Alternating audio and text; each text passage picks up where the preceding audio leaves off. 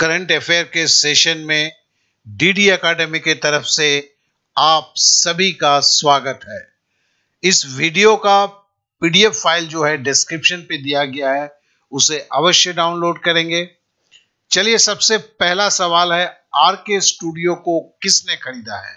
तो देखिए आर के स्टूडियो को गोडरेज ने खरीदा हुआ है प्रॉपर्टीज़ के रूप में। वो आर के स्टूडियोज जो 16 दिसंबर 2017 को इसमें आग लग के इसका 70 प्रतिशत भाग जल गया था। यही आर की स्टूडियो है जो 1948 में बना हुआ था और 60 के दशक से 90 के दशक तक न जाने कितने लोग आए यहाँ पर।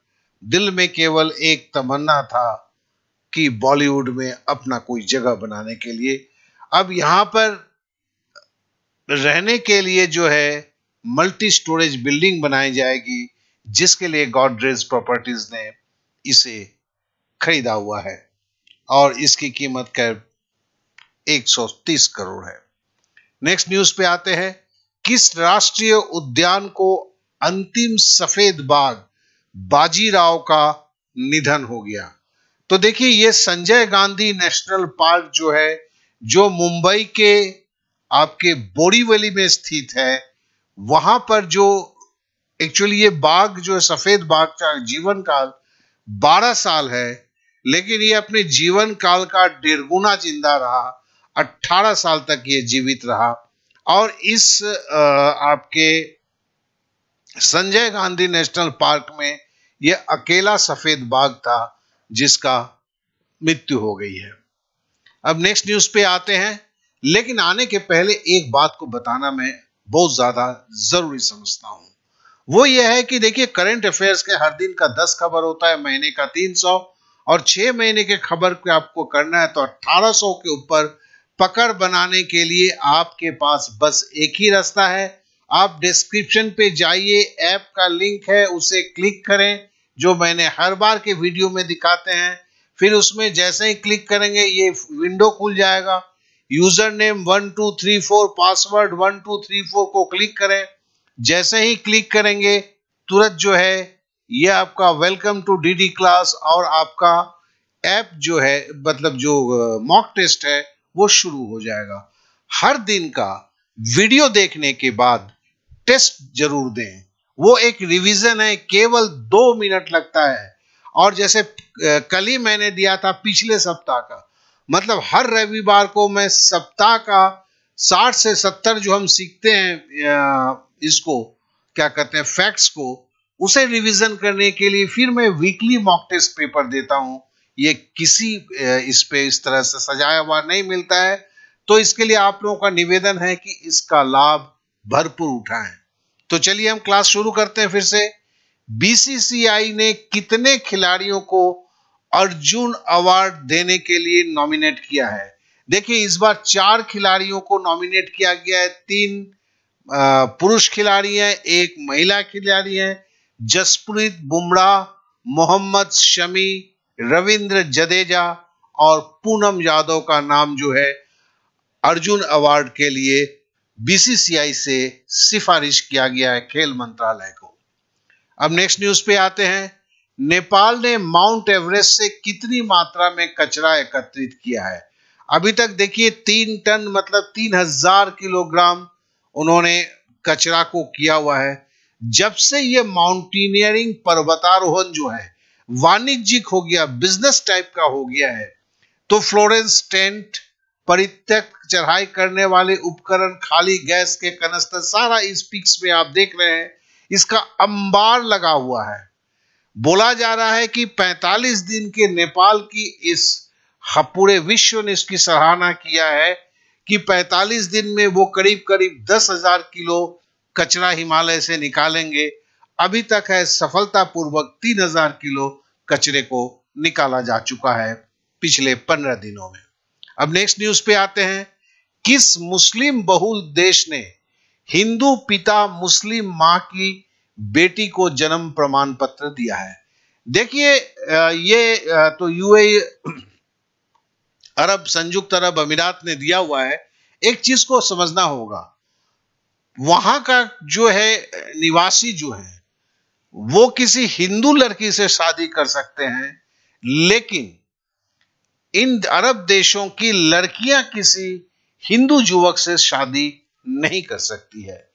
तो ये वहाँ का नियम है तो किरण बाबू जो हैं और सनम साबू सिद्दीकी, ये 2016 में केरल में इनकी शादी हुई थी और ये अबूधाबी पहुँच गए काम करने के चक्कर में।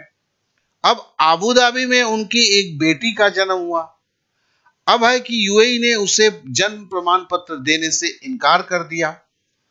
वो कोर्ट में गए, कोर्ट में कोई सुनवाई नहीं हुआ, लेकिन यूएई ने 2019 को सहिष्णुता वर्ष के रूप में मनाया तो इसके लिए इन्होंने फिर गुहार लगाया।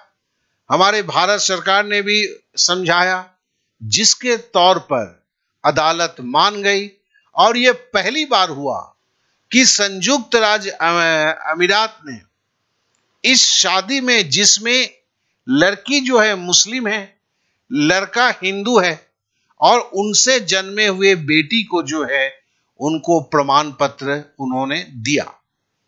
तो ये सही में यूएई का एक बहुत ही अच्छा सहिष्णुता वर्ष का उदाहरण है। चलिए अब नेक्स्ट न्यूज़ पे आते हैं। भारतीय नौसेना के प्रोजेक्ट 75 का चौथी पंड पंडुबी को जलावरण किया, उसका नाम क्या है? उसका नाम है वेला।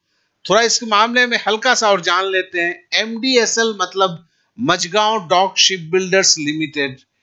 इसमें उन्होंने उसके एक अधिकारी ने बताया, समुद्री सुरक्षा के लिए आज हम आधुनिक मशीनरी और प्रौद्योगिकी के साथ वेला ला रहे हैं, जिसको आईएनएस वेला वीईएलए के नाम से जाना जाता है। इस तरह के पंडुबी हमारे पास 1973 में हुए थे। पहला पंडुबी को हमने 25 जून 2010 को सेवा मुक्त कर दिए।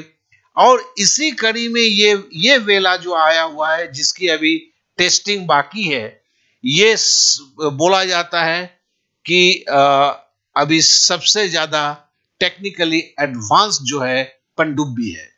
अब नेक्स्ट पे आते हैं। फ्लिपकार्ट ई कॉमर्स कंपनी ने हाल ही में अपना एक और डाटा सेंटर कहाँ स्थापित किया है? ये हैदराबाद में किया है। तेलंगाना में अपना ये स्थिति को बढ़ाना चाहते हैं, जिसके लिए ये फ्लिपकार्ट का भारत का दूसरा आ, क्या कहते हैं डाटा सेंटर है और हैदराबाद का पहला डाटा सेंटर है। अब नेक्स्ट पे आते हैं। वर्ल्ड कप 2019 शुरू होने से पहले किस साउथ अफ्रीकी क्रिकेटर ने घरेलू क्रिकेट से संन्यास ले लिया? वो है जेपी डुमिनी।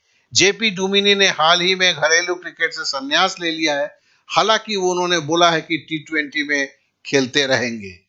अब नेक्स्ट है आईपीएल की चेन्नई सुपर किंग्स और कौन सी टीम दुनिया के टॉप टेन सबसे पॉपुलर स्पोर्ट्स टीम में शामिल हो गई है? कहने का मतलब है, देखिए आईपीएल चेन्नई सुपर किंग्स जो है टॉप टेन में तो है दुनिया की टीम में, दूसरा कौन सी टीम है? तो ये मुंबई इंडियंस है और इनका क्या है कि इंस्टाग्राम में 3.43 करोड़ व्यूज़ जो है मुंबई इंडियंस को मिले। जिसके हिसाब से दुनिया के टॉप टेन स्पोर्ट्स टीम में चेन्नई सुपर किंग्स के साथ साथ मुंबई इंडियंस भी पहुँच गया है। जबकि नंबर वन जो है, वो स्पेन का फुटबॉल क्लब है, बर्सिलोना है, जो ये टॉप टेन के सबसे शीर्ष स्थान पर है, इसे भी याद रखेंगे। अब नेक्स्ट पे आते हैं। हाल ही में ब्रिटेन के प्रधानमंत्री ने गेविन विलियमसन को किस मंत्री पद से बर्खास्त कर दिया। बेसिकली ये रक्षा मंत्री थे और ये बोला जाता है कि एक चीन के हुआवे कंपनी को ब्रिटेन में स्थापित करने के लिए उन्होंने कुछ जर, आ, कुछ इंफॉर्मेशन को लीक किया था और जिसकी जानकारी होते ही ब्रिटेन के प्रधानमंत्री ने विलियमसन को रक्षा सेक्रेटरी के पद से हटा दिया। अब नेक्स्ट पे आते हैं। कल का जो सवाल था international fight fire fighters day अंतरराष्ट्रीय अग्निशमन दिवस में मुझे खुशी है कि मैक्सिमम लोगों ने चार मई का सही जवाब दिया है। चार जनवरी 1999 को ऑस्ट्रेलिया में एक बुश फायर हुआ था मतलब लंबे चौड़े झाड़ियों में आग लग गया था, जिससे पाँच जो है फायर फाइटर की मौत हो गई थी। और इस मौत के कारण दुनिया भर में अंतर्राष्ट्रीय अग्निशमन दिवस जो है, चार मई को मनाया जाता है। अब आज का सवाल है, इंटरनेशनल नो डाइट डे, ये कब मनाया जाता है? और मैं जानता हूँ, इस सवाल का जवाब आप लोग चुटकी में देंगे।